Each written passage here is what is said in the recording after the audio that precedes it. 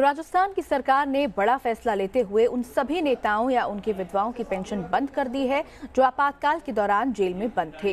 राजस्थान सरकार के इस फैसले से सियासी माहौल गर्मा गया है।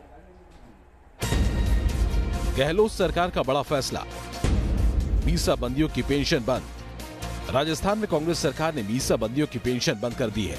गहलोत सरकार ने आपातकाल के दौरान जेल में डाले गए मीसा बंदियों को स्वतंत्रता सेनानी मानने से इनकार कर दिया है।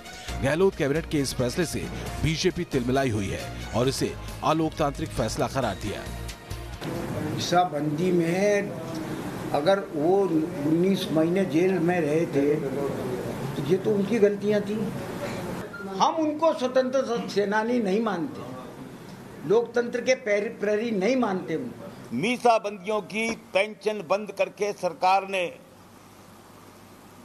तानाशाही पूर्वक रवैये को दर्शाया है कि कांग्रेस अपने इस लोकतंत्र विरोधी निर्णय पर पुनर्विचार करे और इस निर्णय को वापस ले। राजस्थान में 542 मीसा बंदी और एक डीआईआर बंदी है। 1908 सीआरपीसी निरुद्ध लोग हैं। इन्हें बीस हज़ार रूपए मासिक पेंशन और मेडिकल भत्ता मिलता है। मीसा बंदियों की पेंशन रोकने के साथ ही गहलोत सरकार ने निकाय प्रमुखों के चुनाव सीधे न कराकर अप्रत्यक्ष तौर से कराने का फैसला लिया है। बीजेपी ने इसे कांग्रेस सरकार की विफलता बताया है। कांग्रेस पार्टी की इस तरीके की जोड़ तोड़ से निकायों पर काबिज होने का सपना मुंगेरी लाल हसीन सपनों जैसा होगा। तो मैं समझता हूँ कि ये ऐसा दूसरा अवसर है जब सरकार पीछे हटी है, सरकार डरी है, अप्रत्यक्ष चुनाव से हो सकता है जोड़ तोड़ कर लें। लेकिन मुझे लगता नहीं है कि उनकी बाड़ाबंदी की और जोड़ तोड़ की राजनीति सफल होगी। राजस्थान के एक सौ तिरानवे निकायों में इस साल के अंत में चुनाव होने हैं। पहले चरण में बावन निकायों में चुनाव प्रस्तावित है। इनकी अधिसूचना जारी कर दी गई है।